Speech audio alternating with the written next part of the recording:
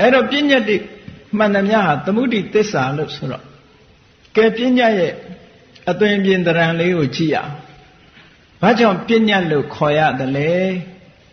ဘယ်လိုတဘာဝတရားကိုပညာလို့ခေါ်တယ်လဲဆိုတာကိုကြည့်ရအောင်ခုနကပြောခဲ့ပြီလူတွေနေ့စဉ်သုံးနေတဲ့စကားလုံးတွေမဲ့ခေါ်ထားတဲ့အမည်နာမတွေထိုအမည်နာမတွေက ဖော်ပြတဲ့အရာဝတ္ထုတွေ ထိုစကလုံးတွေကဖော်ပြတဲ့အရာဝတ္ထုတွေအားလုံးဟာပညာကြည့်ပဲလို့ဒီလိုပြောခဲ့ပြီးပြီเนาะမှန်ပါဗျာကဲဒါဖြင့်ပညာရဲ့သဘောလက္ခဏာကဘယ်ပုံဘယ်တဏ္ဍရှိတယ်လဲလို့ဆိုရင်ပညာဆိုသည်မှာတဲ့ဘယ်လိုပဲ general consensus အများကအတိမတ်ပြုထားပေမဲ့လို့ပညာဆိုသည်မှာပုံပန်းတရံပြက်သွားလို့ရှိရင်အမိပြောင်းသွားတတ်တယ်တဲ့ဟော ဒါပညာရဲ့သဘောမှန်ပါပါပညာဆိုတာတရံပြက်သွားလို့ရှိရင်အမိပြောင်းသွားတာကဲကြည့်ဘုန်းကြီးတို့တွေဝတ်နေတဲ့အဝတ်ရေပုံရအဖြစ်ပြောရအောင်ဘုန်းကြီးတို့တွေဝတ်နေတဲ့အဝတ်ဟာဝါခွမ်းကနေရတဲ့ခြီကနေဖြစ်လာတာနော်ပထမဆုံးကအပင်မှာသီးနေတဲ့ အရာကိုဝါခွမ်းလို့အပင်မှာပွင့်နေတဲ့အရာဝါခွမ်းလို့ဒီလိုမပြောကြဘူးလားပြောကြပါဗျာဗျာအေးဝါခွမ်းပင်ကဝါပင်ကနေပွင့်ပြီးတော့သီးလာတဲ့ဒီအရာဝတ္ထုလေးကိုလူတိုင်းကဝါကွမ်းဝါကွမ်းအင်္ဂလိပ်လိုကြ cotton လို့ခေါ်တယ်ကဲအဲ့ဒီဝါကွမ်းလေးကိုခြီအဖြစ်ပုံတရံပြောင်းလိုက်မယ်ဝါကွမ်းလို့ခေါ်သေးလား ခေါ်တော့ပါဗျာဘယ်သူမှမခေါ်ခေါ်ပါအောင်ဆိုတော့ခေါ်တော့မှမဟုတ်တော့ဝါကွမ်းဒီခြီဖြစ်သွားပြီလူတိုင်းလူတိုင်းဟာခြီလို့ပဲခေါ်ကြတယ်အဲ့ဒါပြဉ္ညာရဲ့သဘောပဲမှန်ပါပါဗျာတရံပြောင်းသွားတာနဲ့အမိပြောင်းသွားရတယ်ခြီကဲတခါခြီကိုတခါရကန်းစင်မောတင်ပြီးတော့ရက်လိုက်တယ်အတိုင်ခြီအပေါက်ခြီနဲ့အပေါက်ခြီနဲ့ရက်လိုက်တယ်ခြီလို့ခေါ်သေးလား မခေါ်တော့ပါဘူးအထဲတဲ့ဖြစ်သွားပြန်ပြီအဲ့ဒီကြတော့နာမည်ပြောင်းသွားပြန်ပြီခြီဘဝကနေအထီဘဝရောက်သွားပြန်ရောအဲ့ဒီအထယ်ကိုတခါပုံစံအမျိုးမျိုးနဲ့လူတွေဝတ်တဲ့အဝတ်စုံချုပ်လိုက်တဲ့အခါကျတော့ဟောကြည့်နာမည်မျိုးမျိုးပြောင်းသွားရင်ဒါကတီရှပ်တဲ့ဒါကဘာနဲ့ဆိုပြီးတော့အမျိုးစုံခေါ်ကြပြန်မှန်ပါပါဗျာဘုန်းကြီးတွေဝတ်ထားကြတော့သင်္ကန်းနဲ့ဟုတ်ကလားမှန်ပါပါအမျိုးစုံဖြစ်မသွားဘူးလားဖြစ်သွားပါတယ်ဗျာအဲ့ဒီလိုပုံပန်းတန်တန်နေ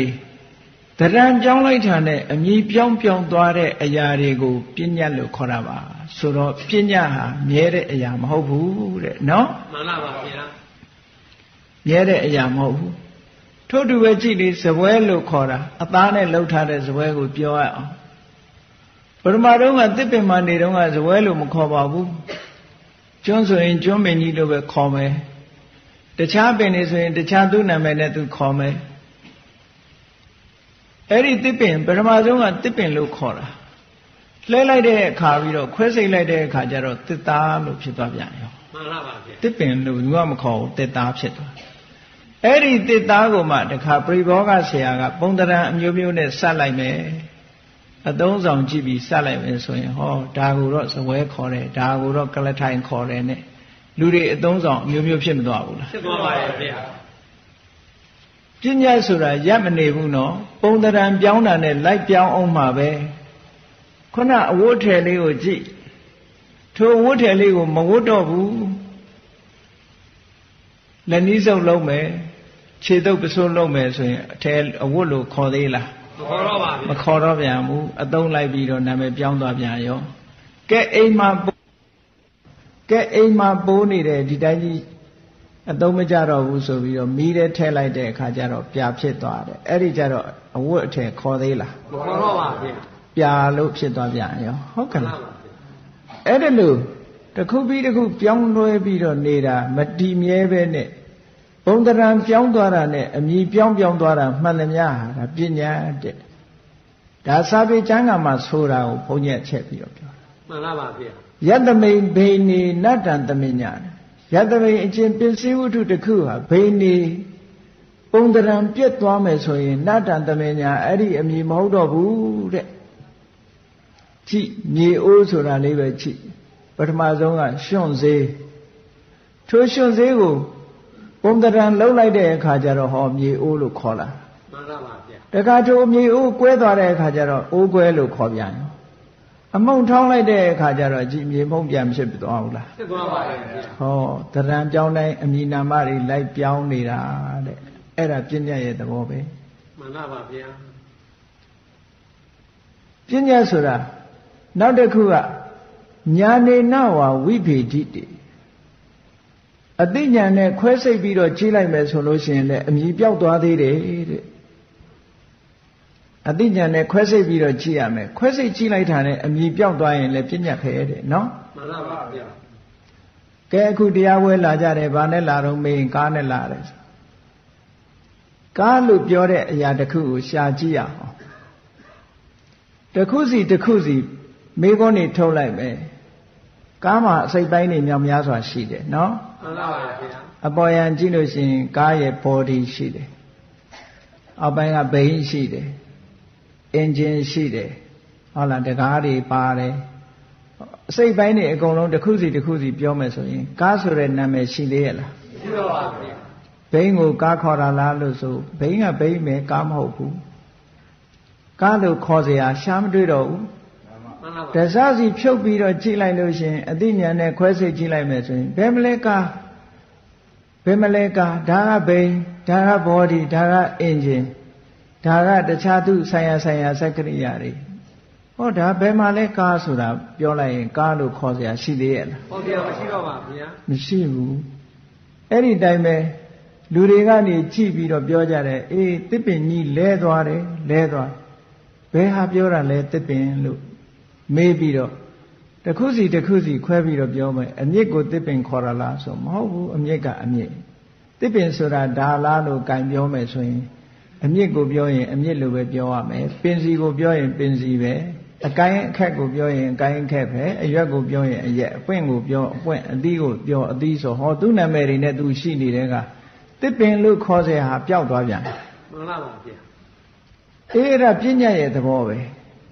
ပြဉ္ညာဆိုတာတစ်စုံတစ်ခုကိုစွဲပြီးတော့လူတွေကဒီဝဟရတင်ပြီးတော့အများအသိမှတ်ပြုခေါ်ထားတာတဲ့ တကယ်လိုက်ပြီးတော့ကြည့်လိုက်မယ်ဆိုဘာခေါ်တာတုံးလို့သေချာမေးလိုက်လို့ရှိရင်ရှိကိုမရှိတော့လူခဏကိုလည်းဒီတိုင်းပဲကြည့်လိုက်လေအေးလူလို့ခေါ်တယ်ဘယ်ဟာခေါ်တာလဲခေါင်းကိုလူခေါ်တာလားဆိုရင်ခေါင်းကခေါင်းပဲလက်ကိုခေါ်တာလားဆိုလက်ကြည့်လဲလူမခေါ်ဘူးလေမှန်ပါပါဗျာခြေထောက်ကိုခေါ်ရလားဆိုခြေထောက်ကြည့်လဲလူမခေါ်ဘူးအဲ့တော့ဒီအင်္ဂါအရက်တွေအကုန်လုံးအစိတ်ပိုင်းတွေအကုန်ပေါင်းထားမှလူဆိုတဲ့ဝဟာရတစ်ခုဖြစ်လာတာကို မှန်ပါပါဗျာအဲ့ဒါကိုညာနေနဝိပေတိတိအတိညာဖြင့်ခွဲစိတ်ချိလိုက်လို့ရှိရင်လဲနတ္တံသမင်ညာအဲ့ဒီအမည်မဟုတ်တော့ဘဲနဲ့အမည်ပြောက်သွားရင်ပညာတဲ့မှန်ပါပါဗျာဟောတာသမုဒိသစ္စာလို့ခေါ်တဲ့ပညာရဲ့သဘာဝလက္ခဏာပဲမှန်ပါပါဗျာပညာဆိုသည်မှာပုံတရံပျောက်သွားပြောင်းသွားလို့ရှိရင်အမည်ပြောင်းသွားတယ်ပုံတရံပြောင်းတာနဲ့အမည်ပြောင်းတဲ့အရာတွေဟာပညာပဲ အသိဉာဏ်နဲ့ခွဲစိတ်ပြီးတော့ကြည့်လိုက်တဲ့အခါကျတော့အမည်ပြောက်သွားလို့ရှိရင်လည်းပညာပဲတဲ့မိလိန်နာမင်းကြီးနဲ့ရှင်နာဂတိန်တို့မေးဖြေတဲ့အခါမှာလည်းပါတယ်ဟုတ်ကလားမှန်ပါပါဗျာဒီသဘောပဲမိလိန်နာမင်းကြီးကယထာနဲ့လာတယ်ဘယ်ဟာယထာခေါ်တာတော့မေးရင်ယထာခေါ်စရာမရှိတော့ဘူးပျောက်သွားတယ်လေမှန်ပါပါဗျာအေးအဲ့ဒီသဘောပဲပြဉ္ညာဆိုတာဟာ ဘုံတရံပြောင်းရင်အမြည်ပြောင်းတယ်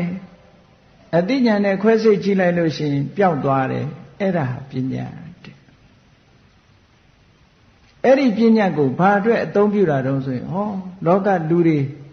စီကံတကြနေတတ်ဖို့စီမင်းဥပဒေတိုင်းနေတတ်ဖို့ညီညီညွတ်ညွတ်နေတတ်ဖို့လောကမှာကြီးပွားတိုးတက်ဖို့ဆိုတာဟောဒီပညာနဲ့သွားရတယ်